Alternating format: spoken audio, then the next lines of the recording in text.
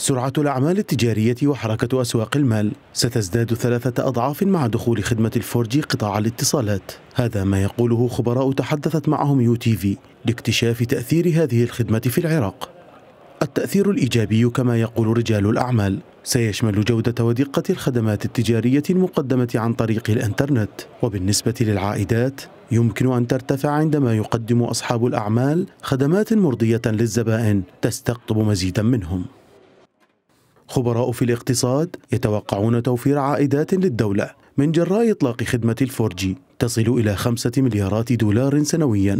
منها ملياران يأتيان من بيع حزم الأنترنت من وزارة الاتصالات إلى شركات الهاتف المحمول فضلا عن تكاليف إنفاذ السعات ونسبة الإيرادات التي تمنح لهيئة الإعلام والاتصالات. أما المليارات الثلاثة المتبقية فتحققها التعاملات التجارية في الأسواق حيث من المتوقع ارتفاع الإقبال على الاشتراك في الخدمة. وبالتالي ارتفاع المردودات وزيادة الوظائف المطلوبة في هذا القطاع لتلبية الطلبات المتزايدة من المستخدمين. الخدمة ستغير أيضا من نظام العمل الحكومي حيث ستغير الآليات التي يعمل بها حاليا إلى أنظمة أكثر سرعة ودقة، لكن هذا يحتاج إلى وقت طويل لإنجازه.